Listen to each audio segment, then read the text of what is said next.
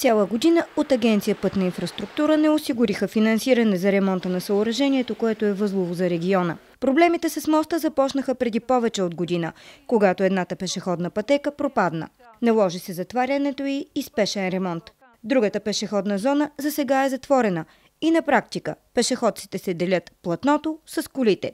Като допълнение, именно моста в центъра на селото е този, по който се насочва целият трафик от леки и тежкотоварни автомобили, когато се наложи затваряне по една или друга причина на пътя между Русе и Бяла. Все на същия хаос сме се. Надяваме се, сега когато се поуправи времето, имаме от последната седмица уверение от АПИ, че ще започнат да работят по него. Но разширеното е и тълкуване на когато се оправи времето. Чакаме вече цяла година. Проблема е когато падне сняг и когато затворят главния път за бяла.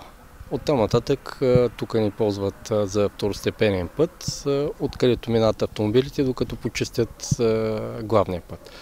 Става уникално голямо задръстване, а ние си оставаме тук и живеем тук и това е един от големите ни проблеми. И така опашката стига до село Красен.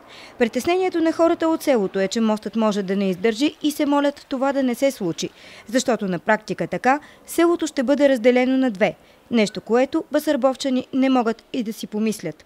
Въпреки, че с проблема се ангажираха кмета на Русе Пламен Стоилов и народните представители от региона, в крайна сметка поддръжката на моста остава ангажимент на Агенция Пътна инфраструктура, а надеждата на жителите на Басърбово е да се вземат спешни мерки за укрепването, възможно най-скоро, за да не се стигне до трагедия.